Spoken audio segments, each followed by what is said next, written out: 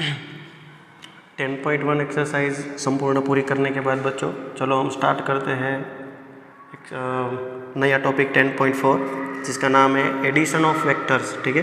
Vectors का addition कैसे करते हैं? पहले वेक्टर्स का एडिशन करने से पहले हम एक बात को देख लेते हैं कि मान लीजिए कि हमारे पास यदि कोई वेक्टर है, और मान लो कि मैं यहाँ पे एक वेक्टर बनाऊँ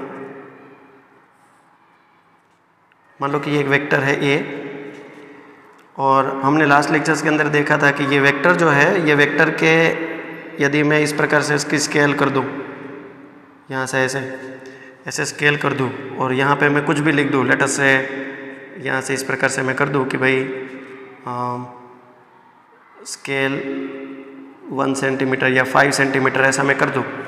तो आपको ये देखना होता है बच्चों कि वन टू थ्री फोर और फाइव ये फाइव पार्ट्स है ये पूरे पूरे के पूरे वेक्टर्स के कितने पार्ट हुए? Total one two three four five five parts हुए। एक पार्ट जो है, उसका एक पार्ट जो है, वो फाइव सेंटीमीटर का है। यदि एक पार्ट फाइव सेंटीमीटर का है, या तो मैं यहाँ पे कर दूँ वन यूनिट वन यूनिट कर दूँ।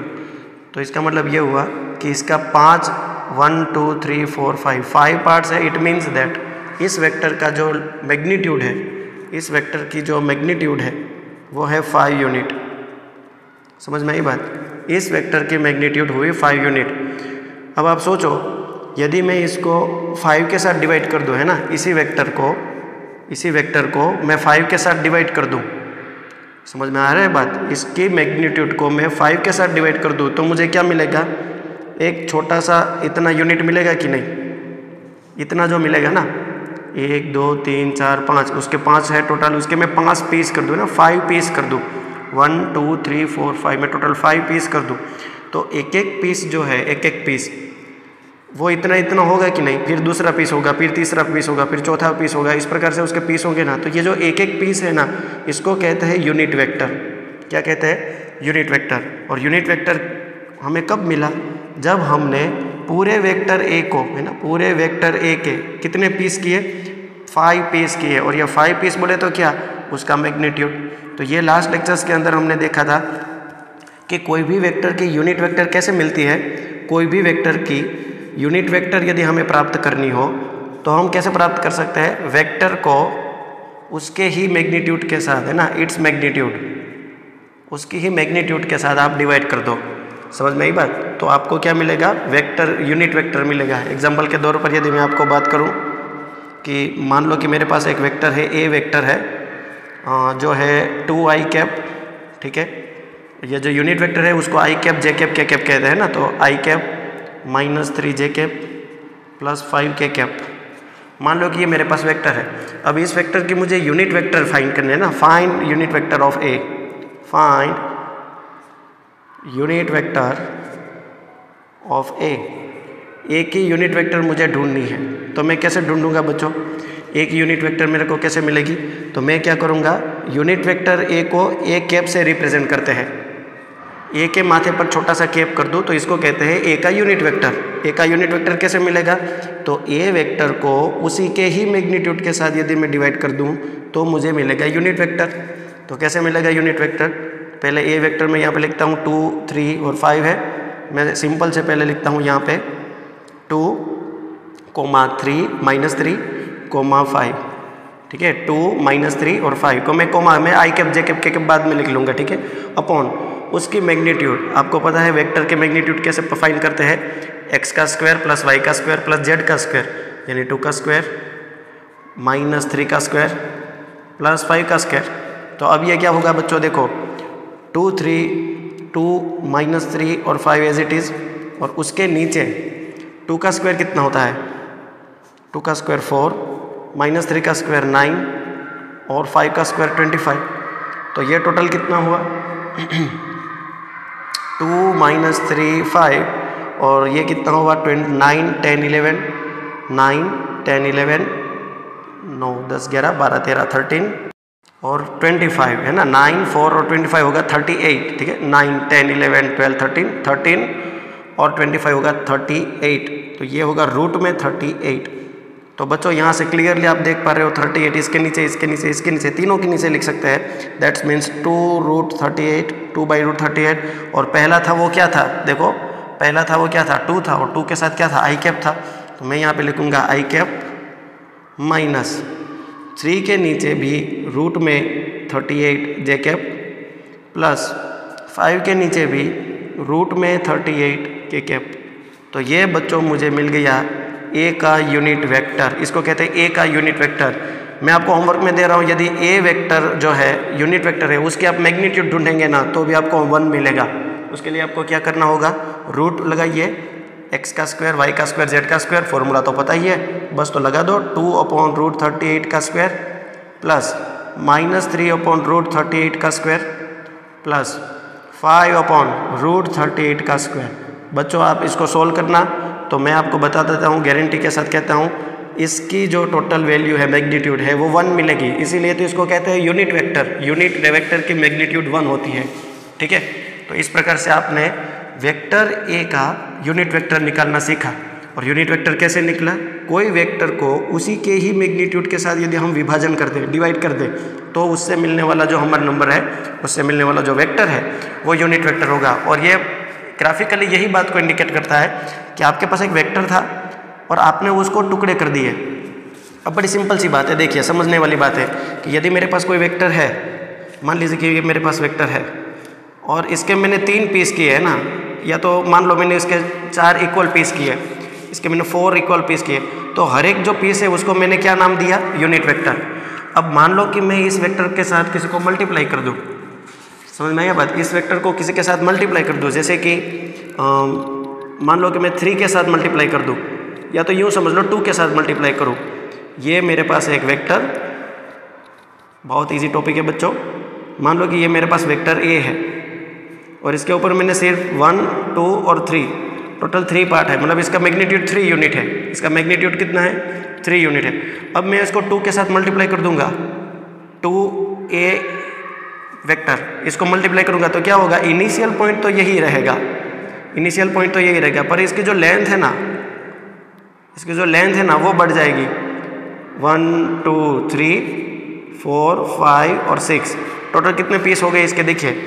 पहले थ्री थे, पर अब कितने हुए? One two three four five six मतलब टू के साथ मल्टीप्लाई करने से वेक्टर लंबा हो जाता है? हाँ वेक्टर लंबा हो जाता है। तो इसका मतलब सिंपल है कि यदि इस वेक्टर को मैं आधा करूँ मतलब divide by one by two से मल्टीप्लाई करूँ तो फिर ये कितना होगा? तो ये फिर वेक्टर इनिशियल पॉइंट यहीं पे रहेगा। पर अब जो है ना, वो देखने वाली चीज़ है। एक रहेगा वन का पीस और एक रहेगा आधा पीस तो ये क्या इंडिकेट करता है कि कोई वेक्टर को आप डायरेक्शन यही रखते हो वेक्टर के साथ कोई नंबर मल्टीप्लाई करते हो तो डायरेक्शन यही रखते हो, उसकी मैग्नीट्यूड बदल जाती है। समझ में आई? इसको कहते हैं स्केलर के साथ मल्टीप्लिकेशन। वेक्टर का स्केलर के साथ मल्टीप्लिकेशन। समझ में आई बात? उसी प्रकार सेम टू सेम टॉपिक आप समझ सकते हो बच्चों यदि कोई यूनिट वेक्टर है है ना? वेक्टर ए का कोई यूनिट वेक्टर है तो आपको पता है कि वेक्टर ए का यूनिट वेक्टर बोले तो छोटा वेक्टर एकदम छोटा वेक्टर अब यूनिट वेक्टर को मैं पाँच से मल्टीप्लाई करूँगा तो इसका मतलब क्या होगा? मान लो कि ये यूनिट वेक्टर है, पर अभी मुझे यूनिट वेक्टर के साथ फाइव को मल्टीप्लाई करना है तो क्या होगा? इसके फाइव बार यूनिट वेक्टर वन टाइम फिर टू टाइम फिर थ्री टाइम फिर four times and then five times ऐसा एक वेक्टर बन जाएगा। मान लो कि यूनिट वेक्टर जो मेरे पास है, उसको मैंने तीन के साथ मल्टीप्लाई कर दिया तो इनिशियल पॉइंट तो इधर ही रहेगा। फिर यहाँ से वन यहाँ से वन यहाँ से टू यहाँ से थ्री तो वेक्टर की डायरेक्शन आप देख पा रहे हो एक ही है। वेक्टर की डायरेक्शन क्या है? एक ही है। पर उसकी मैग्नीट्यूड जो है ना, वो बदल जाती है। इसको कहते हैं यूनिट वेक्टर का मल्टीप्लिकेशन बाय स्केलर तो बच्चों, उम्मीद है आपको इतना समझ में आ गया होगा। जब क्वेश्चंस करेंगे, आपको ज़्यादा पता चलेगा। अब हम पढ़ते हैं एडिशन ऑफ़ वेक्टर ठीक है? एडिशन ऑफ़ वेक्टर हमारा टॉपिक चल रहा है। ये आपको मैंने थोड़ा रिकैप कर दिया, क्योंकि आपकी एग्ज़ाम्स भी चल रही है। तो addition of vectors addition of vectors. Vectors का एडिशन कैसे करना है? तो वेक्टर का एडिशन बड़ा सिंपल है। मान लीजिए कि मेरे पास ये वेक्टर ए है और फिर इसका मतलब है इनिशियल पॉइंट इसका यहाँ पे है टर्मिनल पॉइंट यहाँ है तो इसको कहते हैं ए वेक्टर अब मेरे पास मान लो कि एक दूसरा वेक्टर है यहाँ से इस प्रकार से। Let us give the B vector इसका नाम है बी तो इसका इनिशियल पॉइंट यहाँ पे है टर्मिनल पॉइंट यहाँ पे है। और आपको पता है भी कोई भी वेक्टर को डिफाइन कैसे करते हैं? आप फिजिक्स में भी पढ़ गए हो कि terminal point minus initial point याद रखिएगा इस बात को, कोई भी वेक्टर को डिफाइन कैसे किया जाता है? Terminal point minus initial point उसके कोऑर्डिनेट्स को माइनस करके I cap J cap K cap चिपका दो तो हो जाता है वो वेक्टर। ये वेक्टर ए हुआ, ये वेक्टर बी हुआ।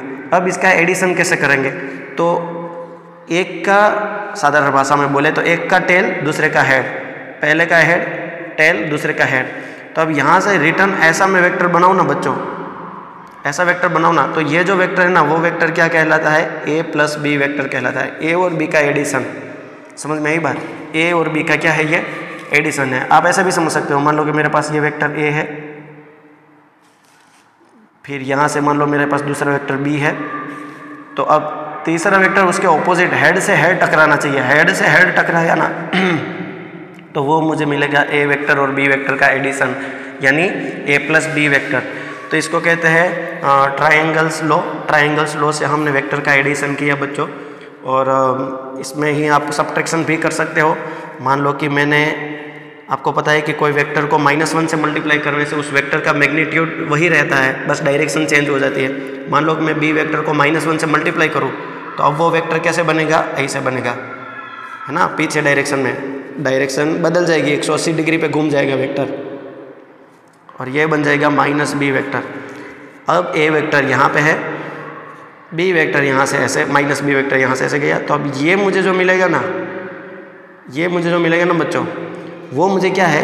ए प्लस माइनस बी का एडिशन है। ये जो है वो ए प्लस माइनस बी का एडिशन है। और आप इसको सिंप्लीफाई करेंगे तो क्या कहेंगे? A vector minus B vector. तो बेसिकली ये तो सब्ट्रैक्शन हुआ दो वेक्टर का। इसका मतलब ये हुआ, या तो एडिशन हो, या तो सब्ट्रैक्शन हो। एडिशन और सब्ट्रैक्शन ट्राइंगल लो से हो सकता है, ठीक है? एक बार और प्रैक्टिस कर लेते बच्चों। जैसे कि मेरे पास ये वेक्टर ए है, और मान लो कि मेरे पास ये दूसरा वेक्टर है बी ऐसे। ऐसे है वेक्टर बी ये वेक्टर बी है। तो वेक्टर ए ऐसे गया वेक्टर बी ऐसे गया। तो इसको ज्वाइन करूँ। तो ये मुझे क्या मिलेगा? ए प्लस बी मिलेगा राइट ए प्लस बी मिलेगा। पर मुझे तो करना है ए माइनस बी मुझे तो ए माइनस बी करना है। तो बी की मैं दिशा बदल दूँगा ना। बी की डायरेक्शन चेंज कर दूँगा। बी की डायरेक्शन कैसे चेंज होगी? तो यहाँ से बी को माइनस वन मल्टीप्लाई करो तो मैग्नीट्यूड उतना ही रहेगा। बस डायरेक्शन में क्या हो जाएगा बच्चों? देखो डायरेक्शन में क्या हो जाएगा? चेंजेस हो जाएगा। इसकी डायरेक्शन बदल दी। ठीक है? कहलाएगा वो माइनस बी वेक्टर और अब इनको ज्वाइन करूँ ना, ऐसे। तो ये हो जाएगा A vector minus B vector तो ट्राइंगल लो से आप इसको समझ सकते हो। वेक्टर ए और वेक्टर बी के माइनस और प्लस कैसे करते हैं। तो एक बात क्लियर कट हो गई कि यदि मेरे पास कोई वेक्टर है, मान लो कि एक वेक्टर है पी क्यू ये पी क्यू वेक्टर है। इसका पी पॉइंट इनिशियल है क्यू पॉइंट एंडिंग है तो इस वेक्टर का नाम क्या होता है? इस वेक्टर का नाम होता है पी क्यू वैक्टर ठीक है? अब मान लो कोई बच्चे ने इसकी डायरेक्शन बदलनी है तो वो माइनस से मल्टीप्लाई करेगा। किसको? इसको। तो माइनस से मल्टीप्लाई करेंगे तो ये ऐसे लिखेगा। माइनस साइन पहले क्यू लिखूँ? ठीक है माइनस साइन पहले क्यू लिखूँ? और फिर पी लिखूँ। तो इसका मतलब है इनिशियल पॉइंट अब क्यू हो गया? इनिशियल पॉइंट अब क्यू हो गया? और टर्मिनल पॉइंट अब पी हो गया। तो डायरेक्शन क्या हो गई? बदल दी। तो ये हो गया माइनस क्यू पी है ना? पी क्यू को ऐसे रिप्रेजेंट करेंगे माइनस क्यू पी को ऐसे रिप्रेजेंट करेंगे। समझ में आ रही बात कि नहीं बच्चों? इसका मतलब यह है कि माइनस साइन और अल्फ़ाबेट्स को यदि मैं चेंज कर दूँ तो मैं वेक्टर के डायरेक्शन बदल सकता हूँ। मैग्नीट्यूड में कोई भी प्रकार का चेंजेस किए बगैर, यानी मैग्नीट्यूड वही रहेगी, बस डायरेक्शन बदल जाएगी। समझ में आया बच्चों? तो ये एक बेसिक कॉन्सेप्ट था जो हमें ध्यान में रखना है। Second very important thing is the parallelogram method Now, what is a parallelogram method?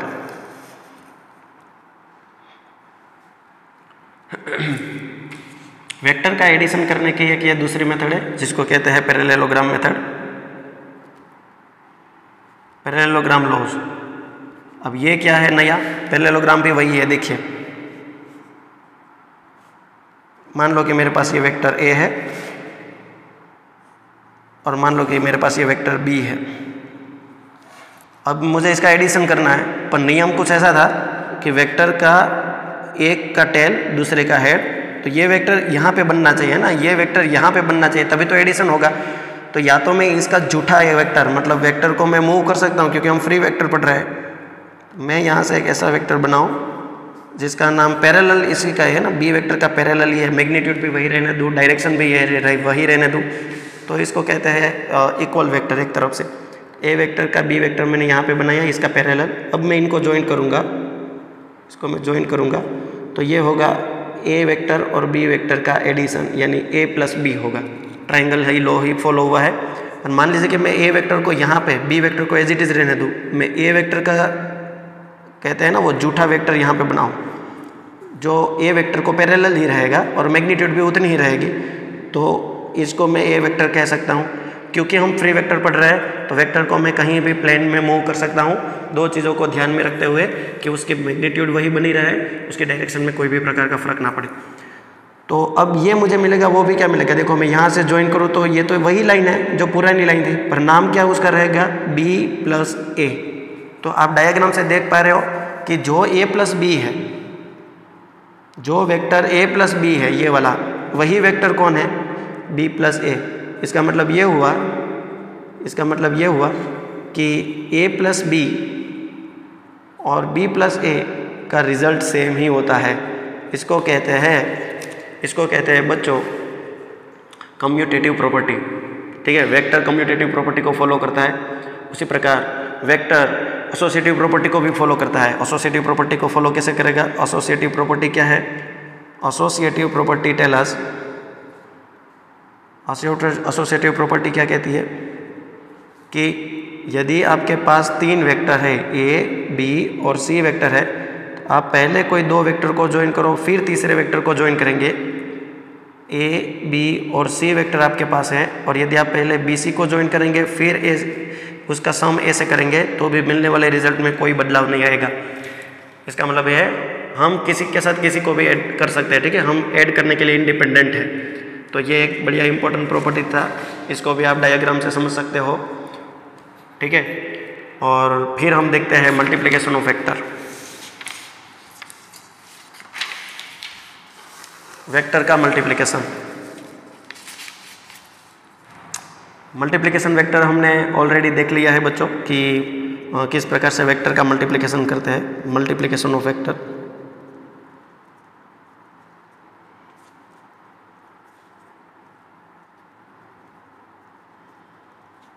Vectors की मल्टीप्लिकेशन। मान लीजिए कि मेरे पास एक वेक्टर है। ये मेरे पास वेक्टर है, जिसकी लेंथ है ए जितनी। ठीक है, ये मेरे पास एक वेक्टर है, जिसकी लेंथ है टू यूनिट जितनी है ना, इसकी मैग्नीट्यूड है टू यूनिट। मान लो कि इसका मैं हाफ़ करूँ, इसका मैं हाफ़ करूँ तो ये वेक्टर इतना ही बन जाएगा, और इस वेक्टर का नाम हो जाएगा one by two A vector. मान लो कि मैं इस वेक्टर को टू से मल्टीप्लाई कर दूँ है ना टू से मल्टीप्लाई करो तो उसका जो मैग्नीट्यूड है वो तो बदल जाएगा मतलब इनिशियल पॉइंट वहीं पे रहेगा, और उसकी जो लेंथ है ना, ये आप देख पा रहे हो यहाँ से, ये ए वेक्टर था, जिसमें टू यूनिट का मैग्नीट्यूड था, अब ये टू से मल्टीप्लाई होगा तो कितना हो जाएगा? फोर हो जाएगा, इसलिए वन टू फिर वापस थ्री और फिर वापस फोर और इस प्रकार से ये वेक्टर क्रिएट होगा। बोलो, समझ में आया कि नहीं?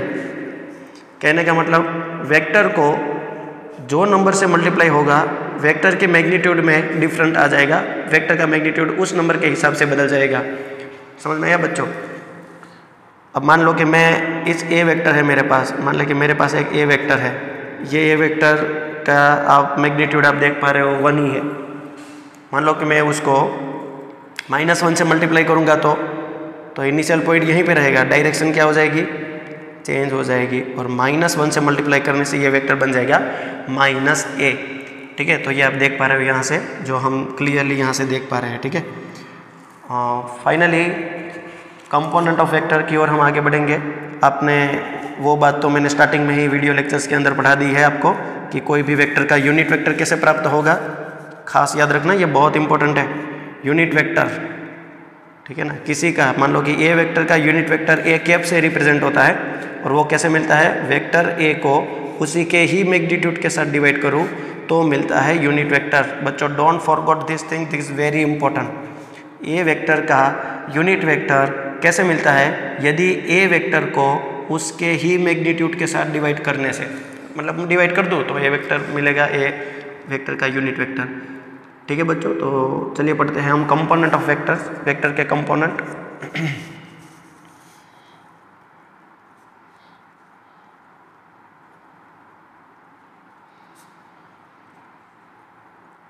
components of vector vector के घटक।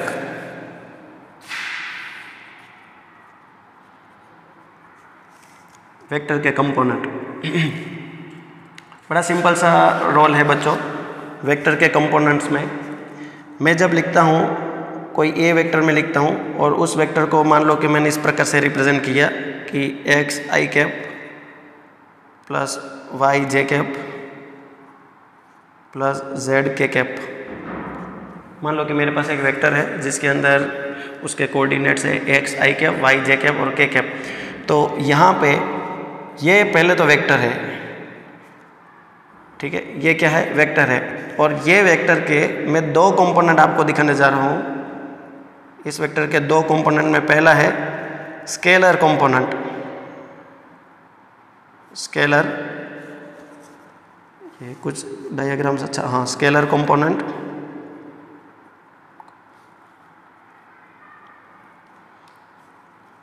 इसका स्केलर कंपोनेंट क्या होगा? तो आप यहाँ पे देख पा रहे हो ना, ये x है।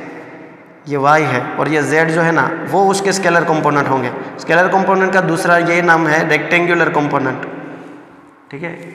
एक बार मैं चेक कर लूँ, यही हाँ।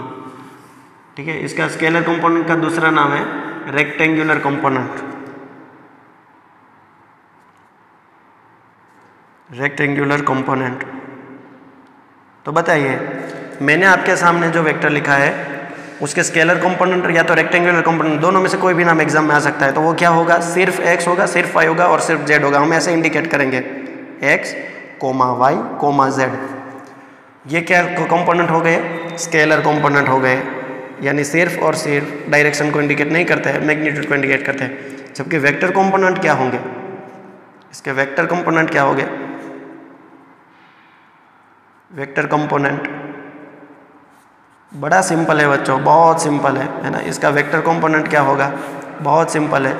यदि मैं x के साथ आई कैप को भी लिखूं, यदि मैं x के साथ आई कैप को भी लिखूं कोमा फिर y के साथ जे कैप को भी लिखूं कोमा z के साथ के कैप को भी लिखूं तो ये जो होगा बच्चों, ये होगा वेक्टर कंपोनेंट तो स्केलर कंपोनेंट्स और वेक्टर कंपोनेंट्स बड़ा इजी है ढूंढना।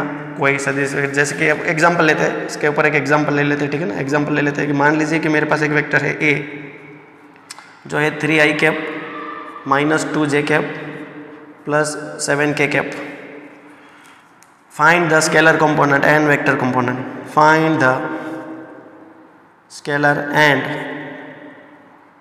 vector component of a A vector के स्केलर और वेक्टर कंपोनेंट फाइंड करिए। तो बहुत सिंपल है बच्चों। यहाँ पे ऐसा तीर लगाइए और लिखिए स्केलर कंपोनेंट स्केलर कंपोनेंट मैं शॉर्ट में लिख रहा हूँ compo it's will be components scalar component क्या होगा? तो ये होगा थ्री फिर कौन होगा? माइनस टू और फिर कौन होगा? सेवन जबकि वेक्टर कंपोनेंट क्या होगा? वेक्टर कंपोनेंट वेक्टर कंपोनेंट होगा three I cap minus two J cap और सेवन के कैप। सेवन है, ठीक है? ये सेवन है, सेवन के कैप। तो ये स्केलर कंपोनेंट और वेक्टर कंपोनेंट ढूंढना बड़ा इजी होता है बच्चों।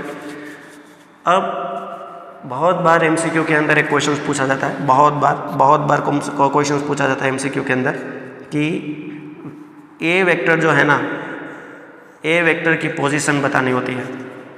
ए वेक्टर की पोजीशन बतानी होती है। मतलब आपको इस प्रकार का कोई वेक्टर दिया होता है और उसकी पोजीशन आपको इंडिकेट करनी होती है कि इसकी पोजीशन फाइंड करिए। प्लेन में वो कहाँ होगा? तो चलो वो भी आपको पढ़ा देते हैं। वो बहुत सिंपल टॉपिक है। क्वेश्चन देखते ही आ जाता है। ऐसे क्वेश्चन होते हैं इनके। मान लीजिए कि मेरे पास एक वेक्टर है ए और वो वेक्टर वेक्टर कुछ इस प्रकार का है कि भाई X I cap plus Y J cap plus Z K cap इस प्रकार से मेरे पास एक वेक्टर है।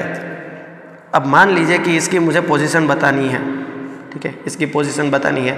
तो पोजीशन जो है उसकी पोजीशन का मतलब है मेरा डिस्टेंस इसका डिस्टेंस बताना है। तो आपको पता है डिस्टेंस कहीं जगह से, कहीं रेफरेंस पॉइंट से बताना होता है। अब यदि आपको ऐसा पूछा जाए कि फाइंड द डिस्टेंस ऑफ़ अलग से, पान पेज ही अलग से ले लेते एक वेक्टर गिवन है आपको, जो है कुछ इस प्रकार से X I cap plus Y J cap plus Z K cap find the distance find the distance of vector A from from अब ये कहाँ कहाँ से पूछा जा सकता है? कोई एक वेक्टर का डिस्टेंस कहाँ कहाँ से पूछा जा सकता है, वो हम सीखने जा रहे हैं ना। पहला तो पूछा जा सकता है वो from the any axes from axes है ना। फ्रॉम एक्सेसिस मैं यहाँ पे लिख दूँ। फ्रॉम एक्सेसिस कोई अलग अलग एक्सेस से जिस प्रकार से मान लीजिए कि मैं आपको डायग्राम बता दूँ।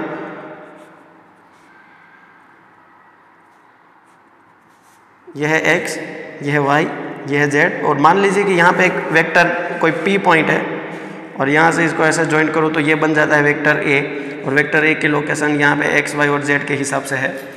ठीक है?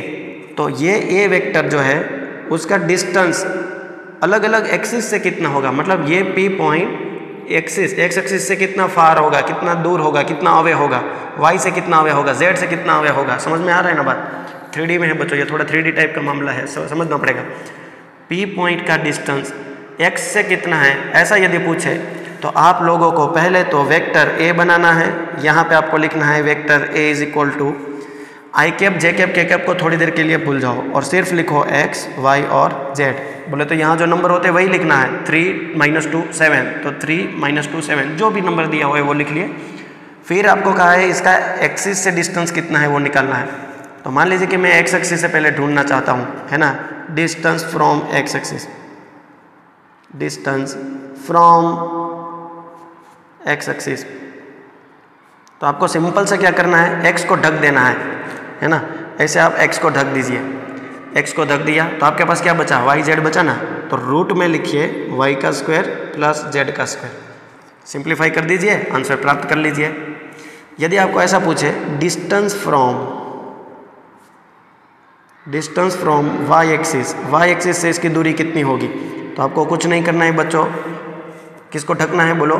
वाई को जिसका पूछा है, उसको ही ढक दीजिए। वाई को ढक दीजिए तो आपके पास क्या बचा? एक्स और जेड बचा ना? तो X square plus Z square आपको ऐसा पूछा distance from distance from Z axis तो जेड को ढक दीजिए, क्या बचा आपके पास?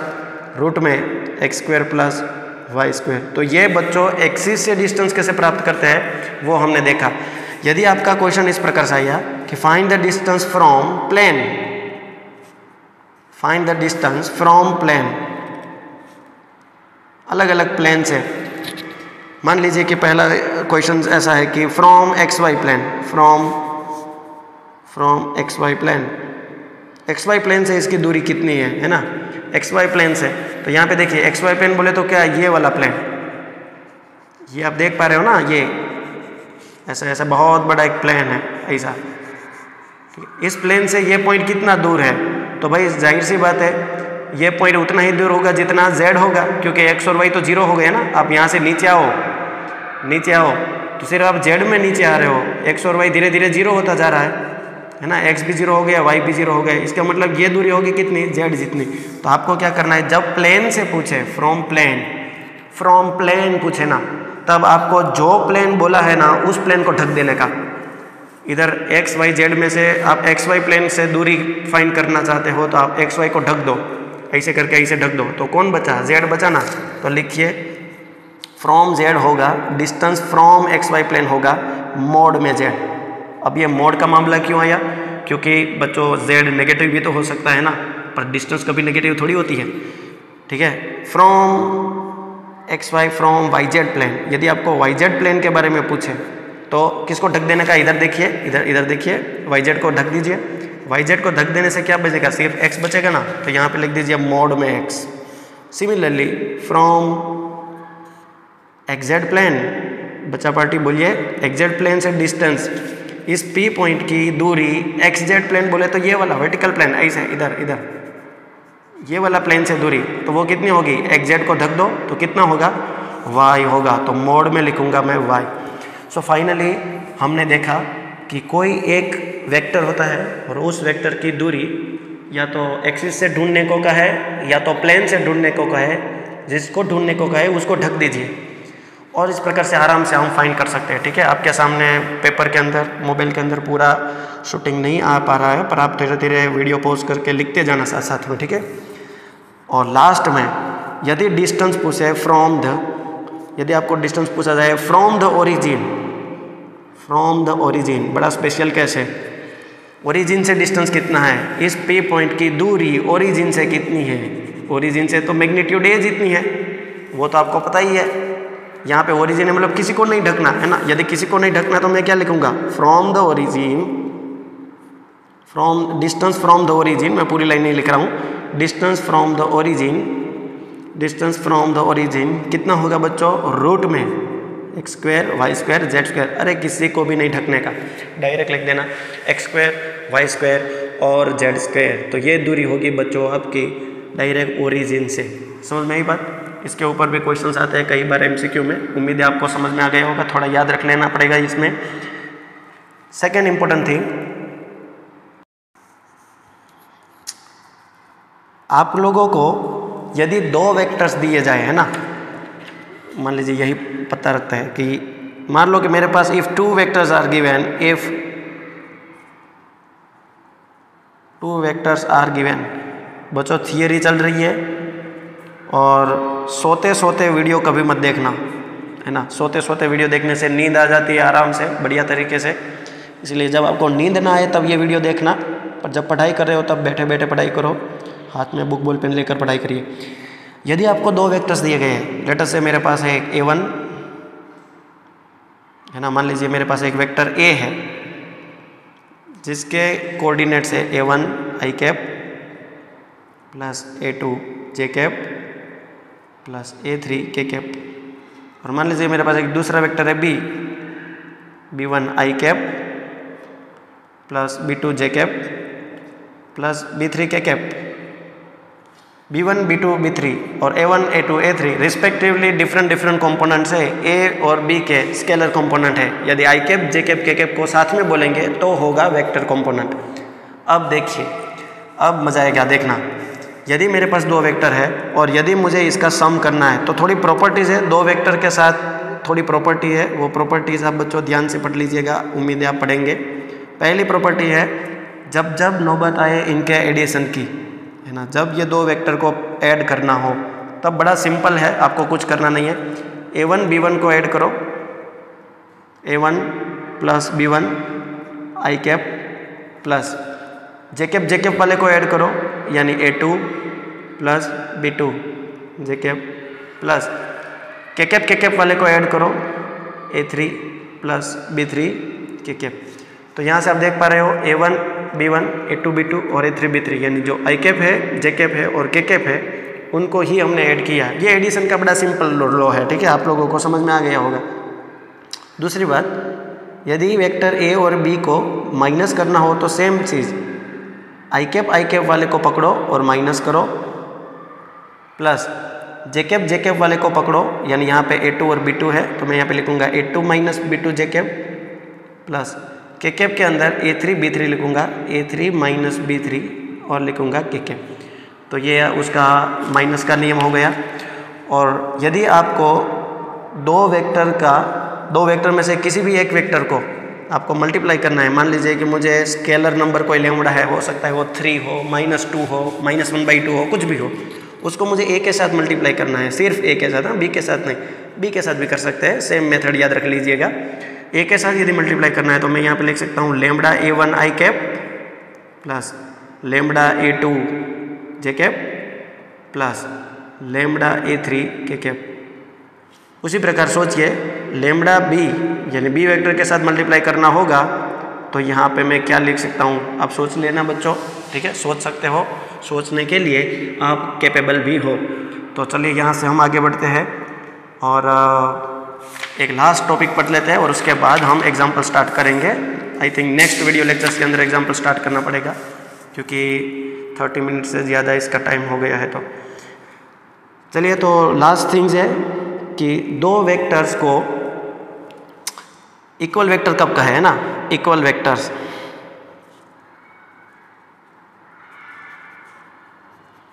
two vectors are said to be equal if and only if मान लीजिए मेरे पास एक वेक्टर ए है, जो है A one I cap B one A two A two J cap और ए थ्री के कैप और मान लीजिए कि मेरे पास एक दूसरा वेक्टर है हाँ यहीं पे नीचे लिख दूँ बच्चों B one I cap B two J cap and B three K cap ये दो वेक्टर इक्वल है ऐसा क्वेश्चन बोल रहा है। समझिएगा बात को? यदि ये दो वेक्टर इक्वल है, ऐसा क्वेश्चन बोल रहा है तो समझ लीजिएगा उसके आई कैप के कंपोनेंट्स जे कैप के कंपोनेंट्स और के कैप के कंपोनेंट्स इक्वल होंगे। यानी A one equal to B one A two is equal to B two and A three is equal to B three मान लीजिए इस प्रकार की कंडीशंस क्रिएट हुई तो ही दो वेक्टर इक्वल है, अन्यथा दो वेक्टर इक्वल नहीं होंगे। तो इक्वल वेक्टर के लिए ये बात नोट करनी होगी बच्चों आपको. Two vectors are said to be equal if these corresponding elements corresponding जो उसके कंपोनेंट है वो भी सेम होंगे. समझ में आई बात? और यहाँ पे दूसरी बात है ये कि कोलिनियर वेक्टर किसको कहेंगे?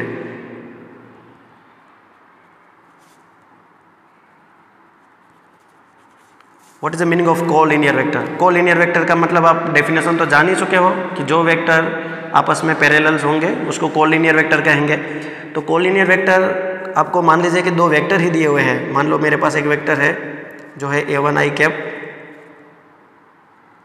A two J cap और ए थ्री के कैप और एक दूसरा वेक्टर है B B one I cap B two J cap और बी थ्री के कैप यदि ये कोल लीनियर है तो मुझे कैसे पता चलेगा कि ये कोल लीनियर है? तो आपको इस वेक्टर में और इस वेक्टर के अंदर ध्यान से देखने से पता चलेगा कि A one I cap A two I cap A three K cap ये जैसा है, वैसा ही यहाँ पे सामने B one I cap B two J cap और बी थ्री के कैप बन जाता है, यदि उनमें से मैं कोई एक कॉमन रियल नंबर लेमड़ा बाहर निकाल दूँ तो। टपा पड़ा सबको? ये दो वेक्टर्स आपस में कोलिनियर तभी बन जाएँगे, जब दोनों वेक्टर्स के अंदर ध्यान से देखने से पता चलेगा कि इनमें से कोई एक कॉमन लेमड़ा बाहर निकलने के बाद, यदि मैं इस वेक्टर को देखूँ तो इसकी फ़ोटो कंप्लीट टू कंप्लीट इसके जैसी ही होगी। समझ में आई बात? हमारे एक्सरसाइज का क्वेश्चन भी है इसके जैसा एक्सरसाइज का एक्सरसाइज 10.2 का एक क्वेश्चन है। आपको दिखा देता हूँ मैं यहाँ पे। यहाँ पे आप देखिए, यदि आपको एन e के अंदर दिखने को मिलेगा तो। शो दैट वेक्टर ये वाला और ये वाला आर कोलिनियर तो ज़ाहिर सी बात है, इस वेक्टर के अंदर और इस वेक्टर के अंदर ध्यान से देखने से पता चलेगा, इनमें से कोई एक कॉमन निकल सकता है। मैं माइनस वन बाई टू निकालूँ, इसमें से मैं माइनस वन बाई टू बाहर निकालूँ तो इसकी फ़ोटो कॉपी टू कॉपी इनके जैसी ही हो जाएगी। यदि इस वेक्टर में से, ध्यान से देखिएगा, यदि इस वेक्टर में से मैं माइनस वन बाई टू बाहर निकालूँ तो इनकी फ़ोटो इनके जैसी हो जाती है। तो ये वही बात हुई बच्चों। ठीक है? ये वही, यही बात हुई कि A one I cap A two I cap J cap हाँ यहाँ पे जे कैप आएगा।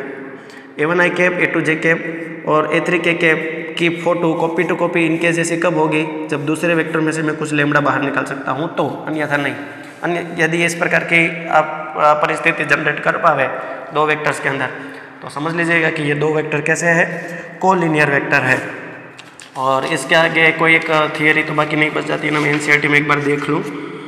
तो यहाँ पे सारी कंडीशंस हमने देख ली। हाँ एक बड़ी इंपॉर्टेंट चीज़ है last things it is very very most important things N C M C के लिए, ठीक है? डायरेक्शन ऑफ़ कोसाइन ढूंढना बहुत आसान है। आपको पता है डायरेक्शन ऑफ़ कोसाइन हमने ऑफलाइन लेक्चर्स के अंदर हमने क्लास में पढ़ा था। डायरेक्शन कोसाइन किसको कहते हैं? पर यहाँ पे एक चीज़ आप याद रखना कि यदि आप कोस अल्फ़ा कोस बीटा या तो पहले मैं, मेरा, मान लो कि मेरे पास एक वेक्टर है A one I cap A two J cap और ए थ्री के कैप यहाँ पे ए one A to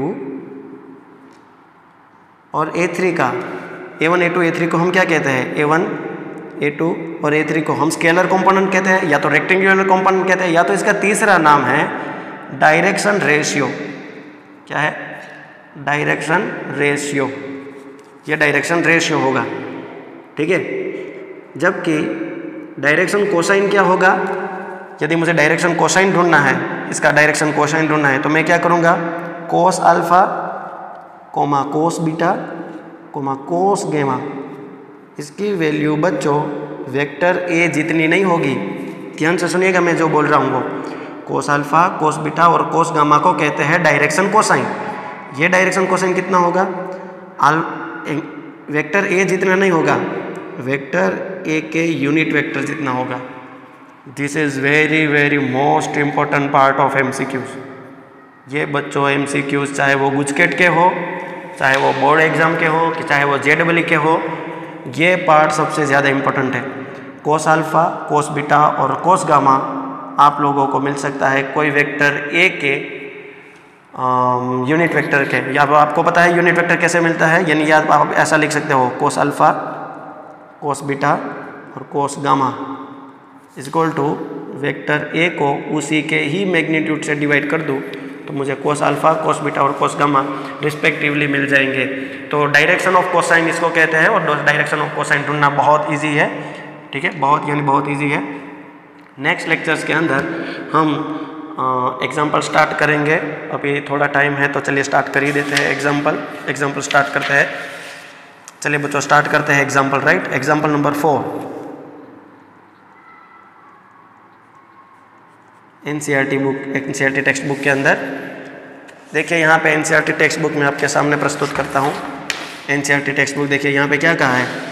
Find the value of X Y and Z show that the vector A this one and vector B are equal equal vector की क्या theory थी? याद करो। अभी क्या अभी मैंने आपको यहाँ पे पढ़ाया था। इक्वल वेक्टर किसको कहते हैं? देखिए इक्वल वेक्टर तभी संभव है यदि ये दोनों दोनों कैसे होंगे? सेम होंगे। A one B one A two B two A three B three same होंगे।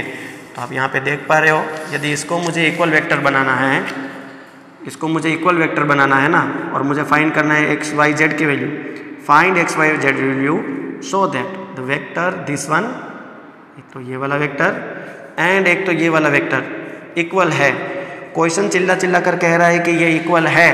तो एक्स वाई जेड की वैल्यू क्या होगी? तो बड़ी सिंपल सी कहानी है है ना?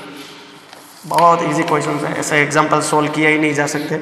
आपके लिए बारहवीं स्टैंडर्ड के बच्चों के लिए ऐसा एग्ज़ाम्पल सोल्व करना उसका अपमान करने जैसा है ना? तो यहाँ पे मैं एग्ज़ाम्पल फोर कर देता हूँ। ये मेरे पास एक वेक्टर दिया है ए एन ने, जो दिया है x i cap two j cap और जेड के कैप दूसरा वेक्टर दिया है बच्चों बी और वो है two i cap, y j cap and plus k cap. अब ये दो वेक्टर इक्वल है। ये दो वेक्टर इक्वल है तो फाइंड करो वाई एक्स की वैल्यू वाई की वैल्यू और जेड की वैल्यू तो सोचिए, ये दोनों वेक्टर इक्वल है तो एक्स की वैल्यू कितनी होगी? एक्स की value i cap i cap को इक्वल कर दो। जे कैप जे कैप वाले को इक्वल कर दो। तो वाई की वैल्यू होगी टू एंड जेड की वैल्यू यहाँ पे कुछ नहीं है तो वन तो दिस इज़ योर बच्चों answer let's example number four complete हो गया है. अब हम करेंगे example number five example number five में लिखा है vector a let vector a i cap plus two j cap and vector b two i cap plus j cap है। दो क्वेश्चंस आपको पूछा है। पहला क्वेश्चन है यहाँ पे। इतना गिवन डेटा देकर पहला क्वेश्चन पूछा है आपको कि is magnitude of vector a is equal to magnitude of vector b ऐसा क्वेश्चन मार्क पूछा है। और दूसरा क्वेश्चन पूछा है are they equal are they equal ये दूसरा क्वेश्चन पूछा है। दोनों का आंसर बड़े खुशी से दे सकते हैं बच्चों। पहले तो मैग्नीट्यूड ढूंढ लेते हैं। वेक्टर ए की मैग्नीट्यूड ढूंढना बड़ा आसान होता है। चलिए आई कैप के साथ बाजू में कौन है? वन, उसका स्क्वायर प्लस जे कैप के बाजू में कौन है? टू उसका स्क्वायर तो ये कितना होगा? वन का स्क्वायर वन टू का स्क्वायर फोर तो one plus four so it will be mod root five magnitude of a getting root five ना what is magnitude of b magnitude of b ढूंढते हैं बच्चों। यहाँ पे ये होगा टू आई कैप। यहाँ पे आई कैप है ना? हाँ यहाँ पे क्वेश्चन के अंदर आई कैप है। तो देखिए मैग्नीट्यूड ऑफ़ के अंदर रूट के अंदर आई कैप का साथीदार, यहाँ पे टू, उसका स्क्वायर प्लस जे कैप का कंपोनेंट वन तो आप देख पा रहे हो, ये होगा टू का स्क्वायर फोर ये है वन तो ये भी मिला रूट फाइव ठीक है? तो यहाँ पे mod sorry magnitude of and magnitude of b are same तो हम यहाँ पे कहेंगे कि yes both magnitudes are equal right both magnitudes are equal but they have same क्या ये दोनों इक्वल है?